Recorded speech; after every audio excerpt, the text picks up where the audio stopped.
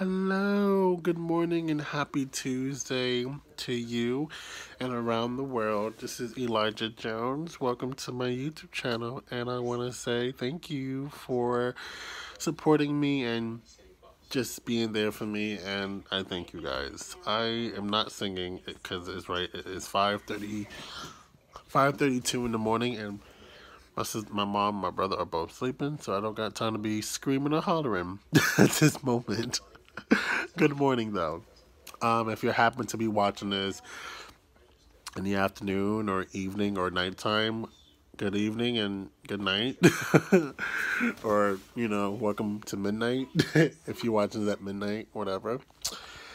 But I just want to say hello and just be really, I want to say, um, thank you guys for the views on my last video and I want to say thank you and God bless. You guys are amazing. I seriously meant that from the bottom of my heart. I just want to say thank you so much. You guys are a blessing in disguise, and I just I'm very grateful for all you guys and for supporting me for the last God, like for a long time now.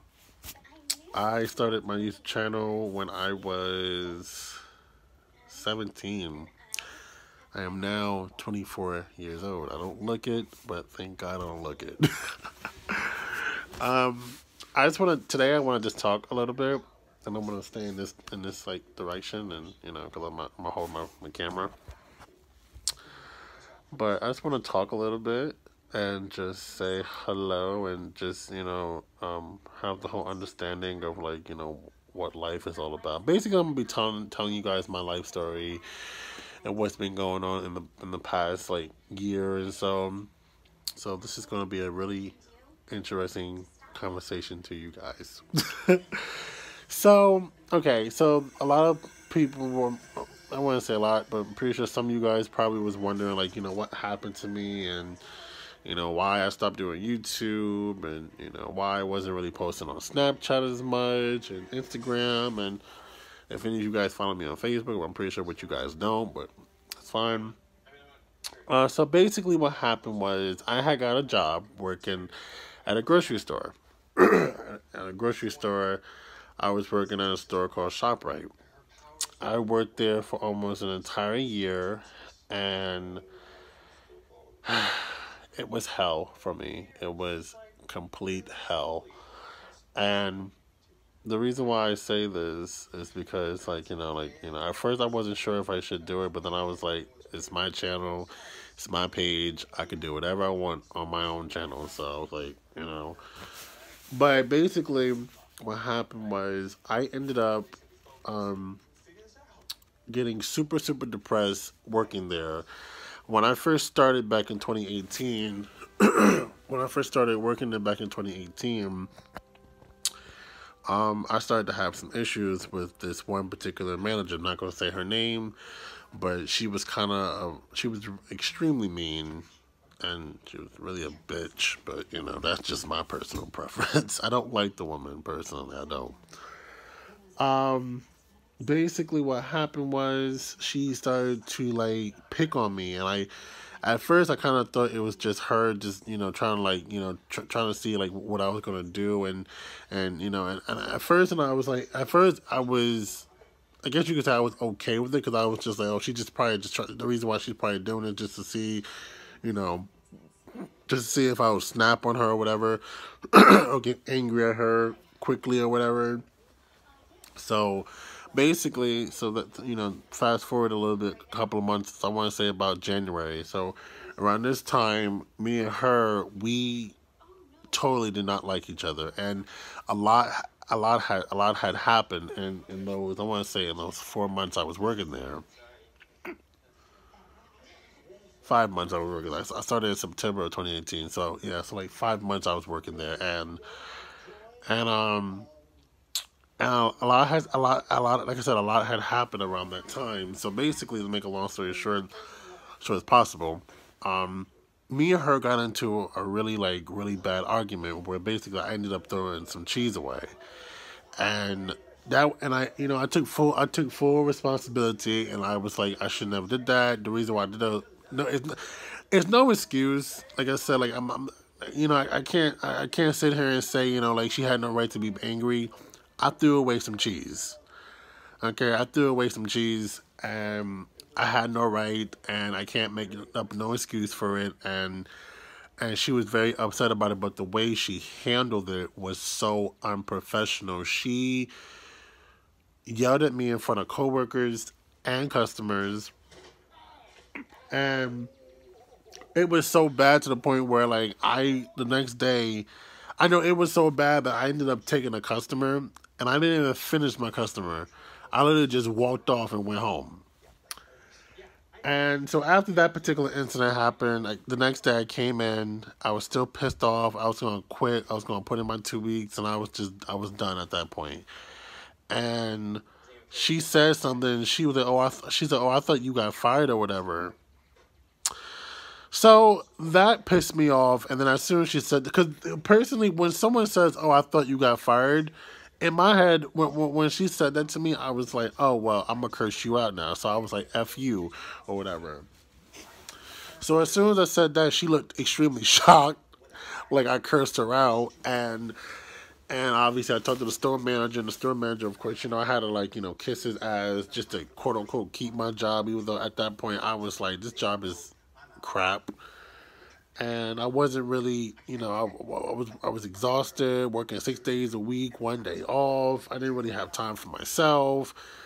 It was just a lot, and then so I ended up asking the store manager if I can go into the seafood department. So I didn't get, I didn't, I didn't grant me my wish until late March. And like I said, me and this woman was having issues I want to say about like three months prior because the first month when I went when I first got a job in September, she wasn't really like picking on me, but like when the second month I want to say like around like November, she was really like she was really like you know she was really like you know getting you know she was really getting getting on my nerves and I just didn't. I, I, she was picking on me and just making me feel like crap, but I just didn't. I didn't. I didn't get it. I really didn't get it. So you know. Anyway, so ended up going to the seafood department, and for the first couple of months, I um, I was semi happy, I guess you could say. And then I want to say about like maybe like three months, and shit started to get really rocky again, and our management started to treat me like crap.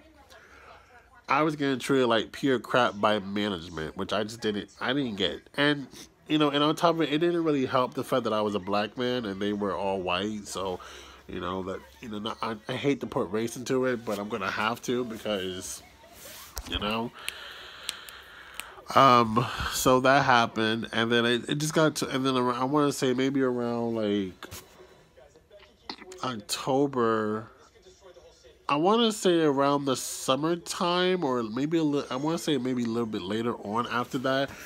I um, I got super depressed to the point where I just all I did was I was I was eating. I was gaining a lot of weight. All I did was all I did was eat, go to work, walk my dog, sleep a lot. I, well, I was barely sleeping, so like you know, but like and then like I want to say that happened around the summertime, and then I want to say it got it started to become worse around November.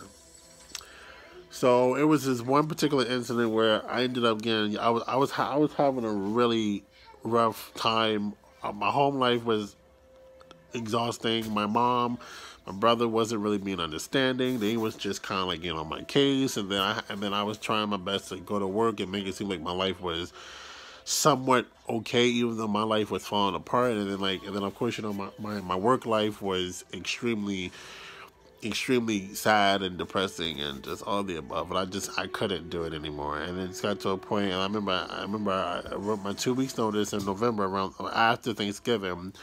Then I took it back, and then I was like, well, maybe I was like, I'll just stay for maybe like, you know, a couple more months. And I was like, I was like, if anything, if anything does not change, then I will quit. So I ended up quitting. I ended up quitting, and then as soon as that happened, as soon as that happened, I um, no, I ended up taking it back. I ended up take, ended up taking my two weeks back, and then as soon as I did that, they still they still was treating me like crap, and then it just got to a point where I ended up staying for Christmas and staying for New Year's, and it just got to a point where I was just like, it's got to a point where I was just like, you know what, I can't do it no more because, and then it's also like I said around that time also, and then I ended up like I said I was super super depressed to the point where I tried to commit suicide. I ended up trying taking pills and obviously that didn't go too well. So I told my mom what happened. I was at work when I was texting her, and you know, and she was like, "Okay." she was like, "Something's got to give. We got to put you. We, we got to get you in the hospital." And ended up going into a program for about four weeks. My God, my. Ended up going into a program for about like four weeks, and the program helped me a lot. And I would say it was actually one of the best choices of my entire life. I ended up on med- I ended up on medication. I'm still on the medication, and, and um, and it was actually the best part of my life. And I and then I remember, I remember um the last. I remember when I um decided to put in my two weeks. I was so ready to put in my two weeks at that point. I was like, okay, I'm ready to do this. I got this. I'm I'm super ready for this. I got this, and I'm ready to be free again. I'm ready to get some rest and get my life back on track because my life was a hot mess. And basically, what happened was I ended up putting my two weeks late later in December, and they at first they you know at first you know of course you know they, they came to me and was like oh i heard you put in two weeks and you know yada yada yada whatever. And that was the first week. And then when the second week came around i want to say maybe the middle of the of the second week they were they started to like get nervous. They was like oh snap he's he's actually going to you know quit whatever and people was just like management was just like oh my god i can't believe you're gonna quit you've been here for almost an entire year and i'm and i remember her thinking like you do realize you guys was treating me like pure garbage for almost an entire year I was here. I I told you that this woman in the deli was, you know, treating me like crap. And then and then uh, and then on top of it, you guys was talking to me in your kind of way and I was just like this is not how it's supposed to be. So so that happened and I was just like, you know what? I need to, I need to do what's best for me. I need to do I need to focus on my health, my mental health, and my and my physical health, and I need to get my life back on track, and that's final. So, obviously, I I ended my the last time the last uh the last time. So it's been January, February, March, April. So it's been about four months since I've I've been jobless for about four months now. I'm I'm still looking for a job at the moment, even though we're in this whole quarantine thing.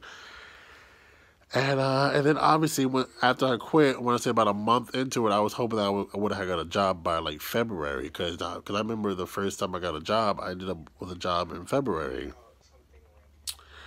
and I was just like even better. I was like maybe I was like maybe February might be a lucky month lucky month for me. Who knows, you know?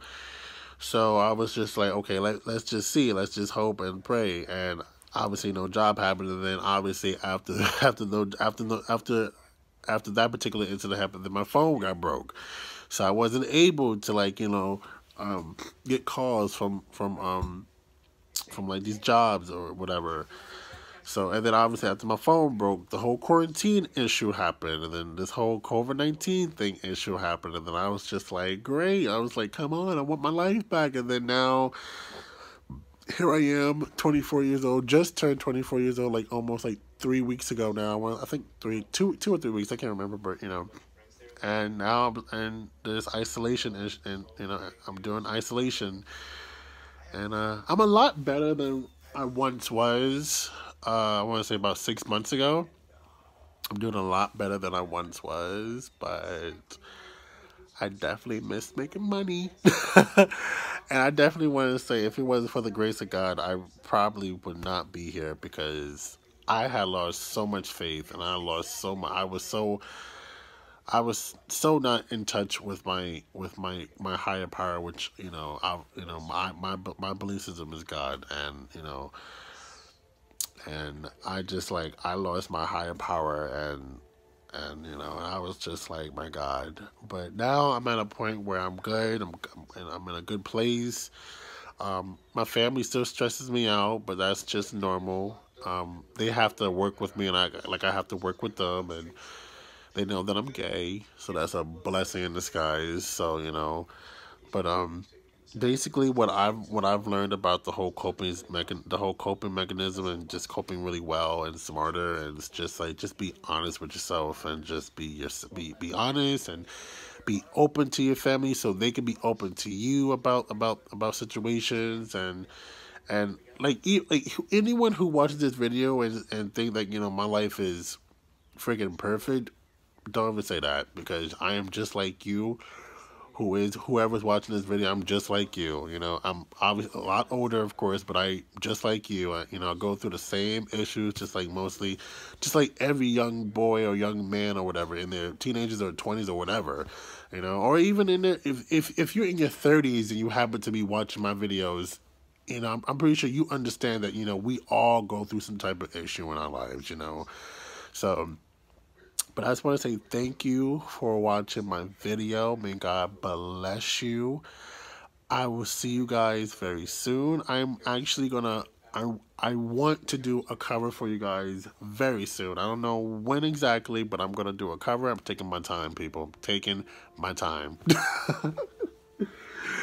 I just want to say thank you guys for being there and supported me for almost so many years. I want to say thank you, God bless you, and I I love you guys from the bottom of my heart.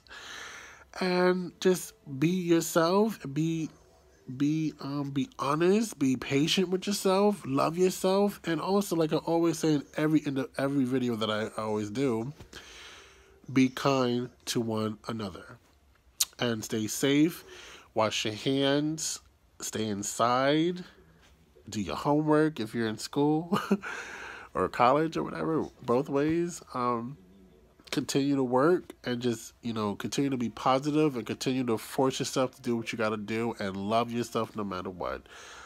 This is Elijah Jones. I want to say thank you, God bless you, and have a great day or afternoon or whatever time you're watching this. I want to say God bless you. Peace. Love you.